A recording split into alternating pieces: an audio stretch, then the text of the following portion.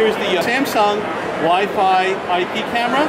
Uh, it's a very simple to use IP camera that has multiple uses. Um, primary of which is uh, in a wireless baby monitor. Okay. Uh, it can also be used as a security camera. It's very simple setup. It's using WPS technology. You press one button on the device, you press the button on the router, and it automatically recognizes the device, networks it, and it's all set to go. You turn on your uh, Mac or your PC, open your browser, it'll automatically uh, open up, and you can name the, the device, and now you're ready to go. You can monitor live video at any time from your smartphone or PC. We're going to have free apps available for all platforms, including uh, Android, iOS, and all the rest. Um, it also has motion and audio detection, so that when there is um, an event, you'll get notified. And we do the notification through uh, push notification through instant messaging.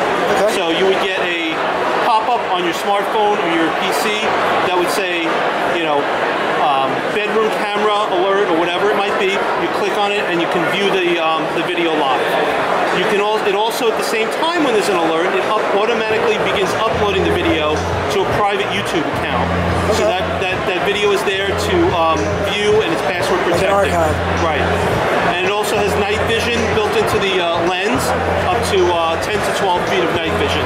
It also has two-way talk, so you can not only hear what's around the camera, you can actually talk back through the camera. Like in a, a doorway situation or something like that. Right, it's a two-way talk.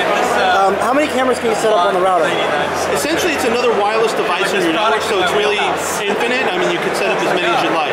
Wow. Like everyone's saying. Do you know what the retail and availability?